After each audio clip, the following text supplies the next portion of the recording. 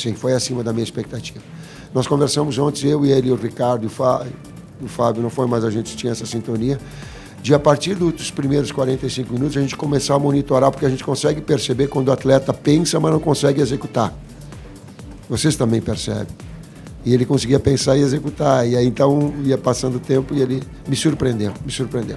Eu vou resumir, na medida que o jogo foi chegando no final do jogo, ele produzia cada vez mais. Porque ele consegue manter o jogador leve, que mantém a técnica leve, com espaços que acabam surgindo maiores. Pero também uh, o futebol internacional hoje uh, visto o regresso de Neymar, uh, o melhor de Neymar jogando.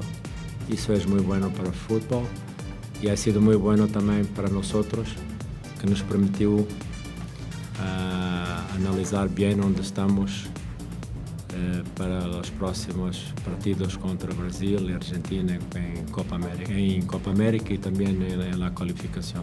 Quando anotas a um equipo como, como Brasil, de los grandes, es, es siempre la alegría más grande, entonces Eh, creo que contento, después me acaban de dar un dato que nadie había marcado dos goles a Brasil de colombiano, entonces eh, seguramente, seguramente, entonces contento por eso y, con ganas de seguir trabajando y conseguir más cosas. Creo que fue un gran partido frente a un gran rival como lo es Brasil, porque nunca es, es fácil, digamos, enfrentarlos, pero bueno, pudimos contrarrestarlo muy bien y creo que pudimos por ahí... Eh, tener mucho más orden porque cuando nos fuimos, digamos, adelante en el marcador era tener aún mucha más disciplina porque eh, tenemos que aprender un poco de, de esto y seguir creciendo.